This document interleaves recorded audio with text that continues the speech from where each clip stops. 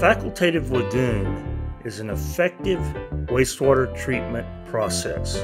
Not as advanced as activated sludge, and it cannot treat down to the levels that an activated sludge plant can. However, when operated correctly, it does remove a large amount of pollutants from the waste stream prior to returning the clean water to the receiving stream. This is an excellent example of a well operated and maintained facultative lagoon. It's set up with two cells. The first cell is deeper and utilized to minimize short circuiting, which can occur during periods of high rainfall.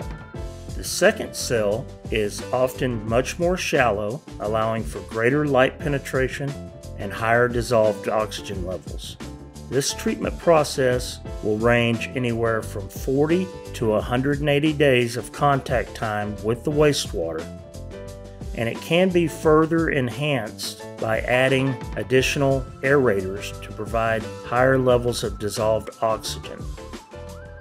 Though not as advanced as an activated treatment process, facultative lagoons are effective and efficient at removing pollutants from the incoming waste stream.